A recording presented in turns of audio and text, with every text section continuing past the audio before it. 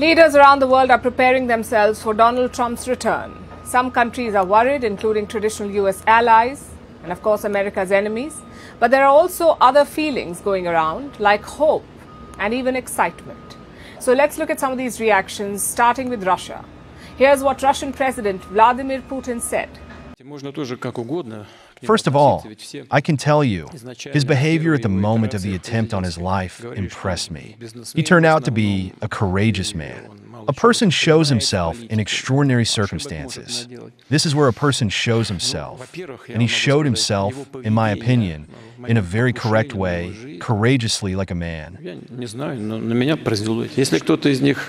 I would like to take this opportunity to congratulate him on his election as President of the United States. I have already said that we will work with any head of state that the American people have given them the mandate. This will indeed be the case in practice. Putin has made his first public remarks on Trump's victory. He began by praising Donald Trump, calling him courageous for reacting the way he did after the attempt on his life. Putin then congratulated Trump on his election win and said that he would be willing to work with the incoming US president. Basically, Putin is open to resetting ties with the United States, but the ball is in Trump's court. Russia is waiting to see what he does once he takes office. And Putin isn't the only American adversary who reacted this way. There was also Venezuelan President Nicolas Maduro. We did not do well in the first administration of re elected President Donald Trump. It is a new beginning for us to bet on winning winning and for the United States and Venezuela to do well. We always advocate for Latin America and the Caribbean to do well. As much as there have been tensions in relations when they tried to attempt against Trump's life twice, I do not hesitate for a second to express my solidarity and wish him good health and a long life. Maduro acknowledged that he did not share a good relationship with Trump, not during his first term anyway. The two were at loggerheads. Trump exerted massive pressure on Venezuela, hoping for Maduro's ouster. But despite this, Maduro sees this as a new beginning, a new win win relationship with Donald Trump. Maduro also mentioned the assassination attempts. He expressed solidarity with Trump and wished him a long life. It's quite the shift in tone. So both Russia and Venezuela are looking for a reset. Now look at the third reaction from Argentina. I congratulate President elect Donald Trump for the great victory in the elections held yesterday. You know that you can count on Argentina to make the United States great again, and we know that we can count on you to make Argentina great again. I wish you the greatest success, success and blessings. Long live freedom. That was Javier Milei, the president of Argentina. Milei could not be happier with this result. He had backed Trump from the very beginning. Milei sees him as a natural ally, so he's thrilled. And he isn't even waiting for Trump's inauguration. He's flying to the US next week to meet Donald Trump at his Mar a Lago residence and congratulate him in person. Joining them will be a mutual friend, Elon Musk. Musk has backed both these leaders, so he may be able to help strengthen ties. That's what Javier Milei will be hoping anyway. It seems there are good days ahead for Argentina. Another leader thrilled about Trump is Hungarian Prime Minister Viktor Orban. Last month, Orban said that he would celebrate Trump's victory with several bottles of champagne. Yesterday, he gave an update. I only partially kept my promise. We also opened champagne, but I was in Kyrgyzstan when Donald Trump won. But there the customs are different. That's why we happily tapped the vodka set together, being happy with this fantastic result.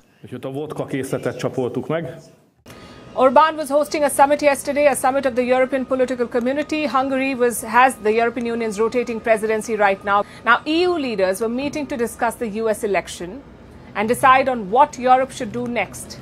Most EU leaders were worried, but Orban was not. He didn't even try to hide his excitement.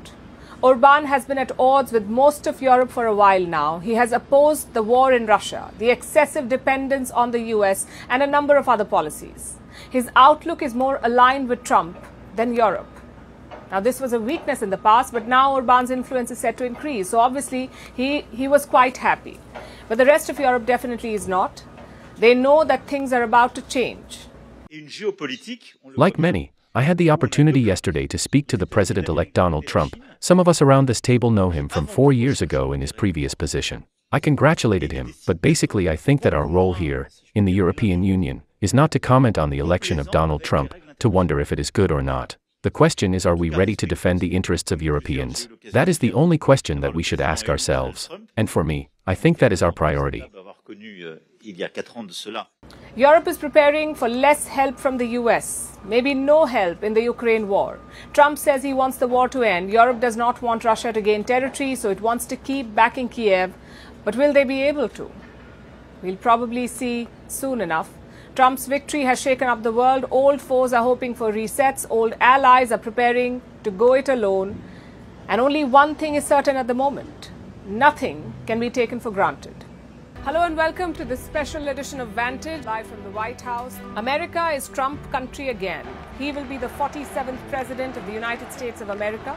They're live from the White House, soon to be the new residence of Donald Trump. It was also here that Donald Trump brokered the Abraham Accords. So the voters have a legitimate question in their minds. If those presidents could do it, why not Joe Biden? The Arab voters want to punish the Democrats for supporting Israel. Joe Biden's shadow looms large over this election, and Kamala Harris may end up paying the price for it. This Trump hat, it says, President Trump save America. But this hat is made in China.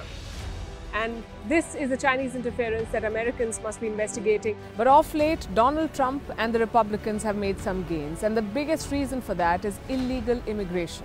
This is more than just a march, they say. This is a demand for accountability. The excitement, the tension is palpable. You can see the security presence. You can see the number of police cars, government buildings like these again, again fenced up. We are at Howard University, the alma mater of Kamala Harris. As the night progressed, uh, numbers came in thick and fast, and Donald Trump was soon declared the winner. It's being called a historic comeback. Another American presidency will begin. In Donald Trump's case, his second one.